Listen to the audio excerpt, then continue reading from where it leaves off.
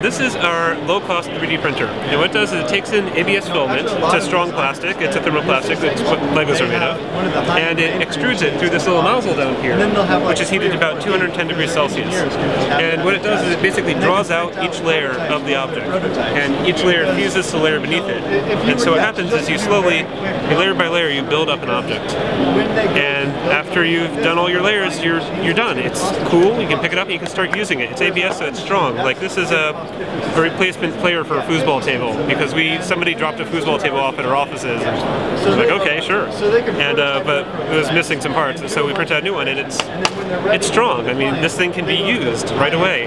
So while 3D printing is usually thought of as a prototyping technology, we also want to see it as a personal manufacturing technology. Uh, if you have this in your home, you're missing a bracket, you can print out a new bracket.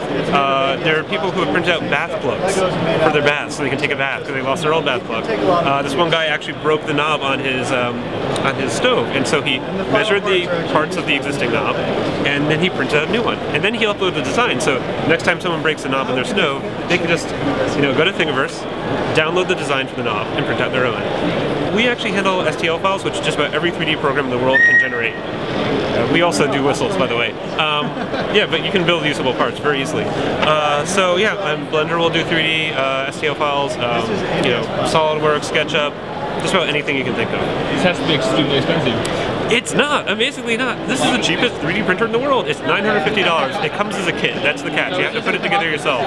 But it's incredibly cheap. The material, the ABS, we sell at 10 bucks a pound, which is also very inexpensive. The kit comes with six pounds. And um, yeah, it's fantastic. I mean, this whole machine costs less than the material for some other machines. So, it's a steal. It's the future. Okay, so the XY positioning is about a tenth of a millimeter. The layer height that we recommend is about a third of a millimeter. You can tweak that a little bit. The real limiting factor factor in that respect is the width of the bead of ABS that comes out of the nozzle, and that's about half a millimeter thick. So that's the minimum wall width you can do.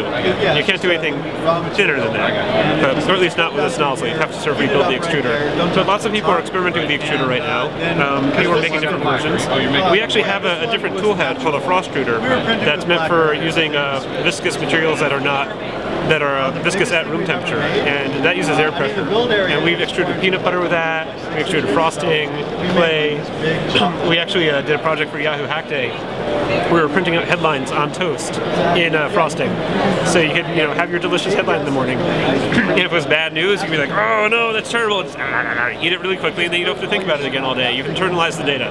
So, yeah, plenty of uses. And uh, people, the great thing about Thingiverse is, is you know, it's a, it's a, sharing site, so you can see what people are doing. And uh, this is very much like the early PC revolution. We have no idea what people are going to end up doing with this stuff. You know, you can't go back to Wozniak and, and try to explain BitTorrent right now. I mean, you can explain it to him now, but you can't go back in time because there's no such thing as time travel. But if there was such a thing as time travel, you'd just confuse Steve Wozniak. So don't confuse Steve Wozniak. That's that's what I'm saying. He's a nice guy, from what I hear. And that's it. That's MakerBot. This is what we. This is our flagship product. We do some other things too.